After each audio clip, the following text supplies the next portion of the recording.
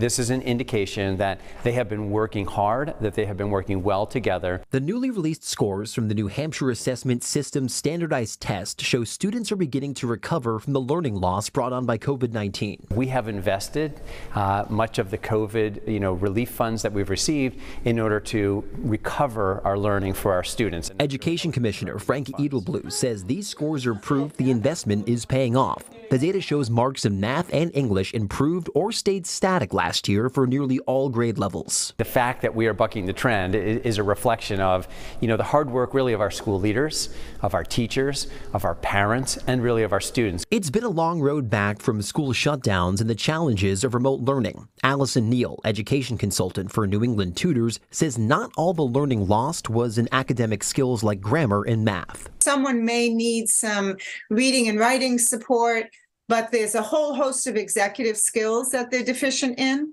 Um, so there's some emotional control challenges, there's working memory challenges, organizational challenges. While scores are improving, most grade levels are not entirely back to where they were pre-COVID. Commissioner Edelblut acknowledges there's still a lot of work left to be done. We should be encouraged but we should not take our foot off of the gas pedal. We still have much work to do to continue to make sure that our students achieve to what we aspire for them.